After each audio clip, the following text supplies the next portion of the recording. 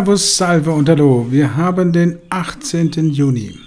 Triple Witching, Hexensabbat. Ähm, 17.54 Uhr. Die Settlements sind gemacht worden, auch für die Aktien jetzt eben um 17.36 Uhr. Und ähm, das war mal ein heftiger Tag. Endlich kam mal Bewegung rein. Das ihr seht, das sind mehr oder weniger 2%. Im Moment rechnen wir bei 1,67% mit 15.458. Schlusskurs war 15.448. Ich muss, das, das muss ich euch einfach zeigen. Ich gehe mal auf die Stunde. So, hier ist die Stunde. Ein schwarzer Pfad nach dem anderen. Da gab es keine einzige weiße Kerze.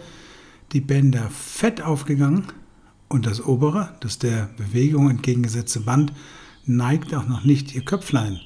Und, damit wir es gleich auch haben, richtig, ähm, vier Stunden ganz genauso. Wir schließen weit, weit unter dem unteren Band. Nicht schön. Aber gehen wir zurück auf den Tag. Es ist also eins der wenigen Momente in den letzten Monaten. Hier hatten wir mal eins am 4.5., also vor ungefähr sechs Wochen. Ähm, wo der Markt einfach runtergegangen ist. Und zwischenzeitlich gab es ja ganz, ganz viele Tage, wo wir fett gefallen sind, sofort wieder hoch. Hier zum Beispiel, hier zum Beispiel, da zum Beispiel, hier auch nochmal. Also immer wieder einen schnellen Abverkauf, sofort wieder hoch. Und da musste man zusehen, dass man dabei war, sonst hat man ein Problem gehabt. Hatten wir heute nicht. Hatten wir nicht. Ich ähm, meine festgestellt zu haben, dass insbesondere die Juni-Termine in den letzten na, sagen wir mal, 25 Jahren eigentlich immer die schwierigsten waren und dass es oftmals auch eine Trendwende war. So weit möchte ich jetzt noch nicht gehen, aber wie auch immer, wir haben 300 Punkte haben wir gemacht und zwar ohne echte Gegenwehr. Das, das ist äh, erstaunlich. Ich muss es immer wieder zeigen. Hier dieses Sentiment von der Euwax. Auch jetzt, nochmal, wir haben 17.56 Uhr. Long, long, long, long, long, long, long. Tja ist mit Vorsicht zu genießen. Echt mit Vorsicht zu genießen. Ich packe das mal hier unten drunter. Wir sind von den Bändern her relativ eng sogar. Wir haben hier eine sehr gute Unterstützung bei 15.377. Das habe ich heute gespielt. Vielleicht hilft es dem einen oder anderen, dass ich hier also eine Basis genommen habe, die war bei 15.000, ich glaube 320 oder sowas. Ja. Weil ich damit nicht geglaubt habe, dass wir das untere Band nach der Bewegung auch noch irgendwie touchieren. Wir sind negativ über die Stochastik, wir sind negativ über das MACD. Also wenn ich das hier so sehe, muss ich sagen, okay, der Markt hat sein Ding getroffen. Letzte Woche am Sonntag bzw. am Freitag habe ich gesagt, dass wir hier nochmal an das Bollinger Band gehen sollten und dass es eine ganz wichtige Unterstützung ist hier bei 15.480. Das haben wir schlicht und ergreifend pulverisiert.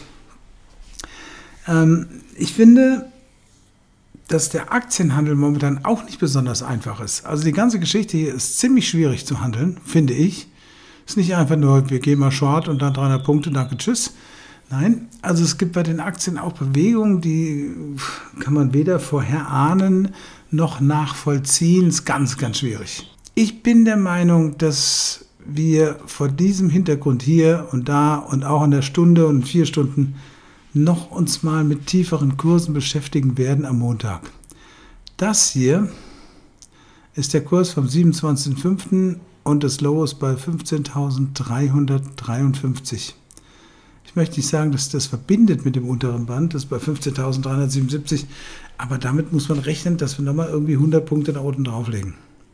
Und da muss man wirklich schauen, was dann passiert. Wie gesagt, so Verfallstermine, das sind oftmals so ähm, Peaks oder Lows, also Peaks nach oben oder unten, die dann irgendwie eine für die nächsten Monate gültige Bewertung haben.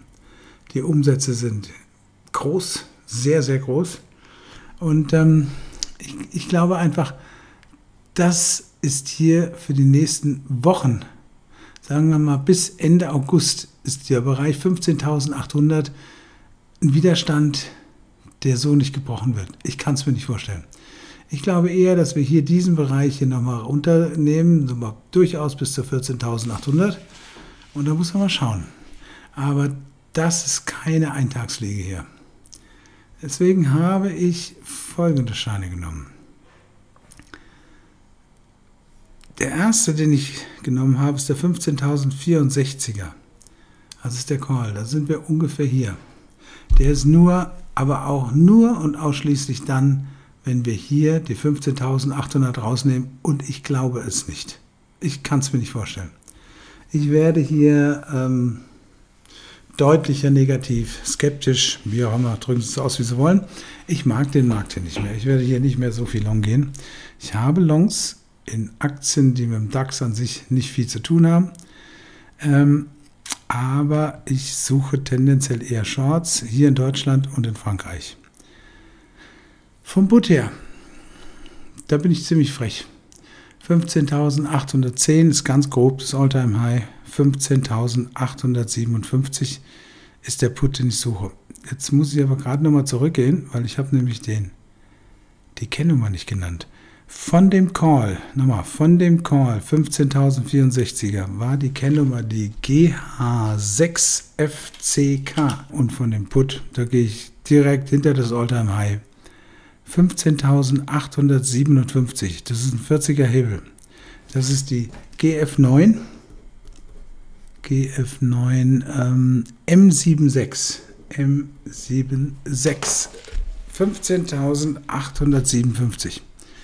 Wem das zu eng ist am Markt, ich kann das verstehen, der muss einen nehmen hier über 16.000. So ein 16.100er. Ich glaube, die 16.000 ist für die nächsten paar Wochen, ich meine so bis Ende August, erstmal abgesungen. Der Markt braucht eine Pause, erholt sie sich, erholt sie sich immer, wenn er sie braucht. Und äh, dadurch, dass wir heute hier so ein Euwax-Sentiment haben und tendenziell eher Longs gespielt wurden, glaube ich, wir werden diese Pause nehmen.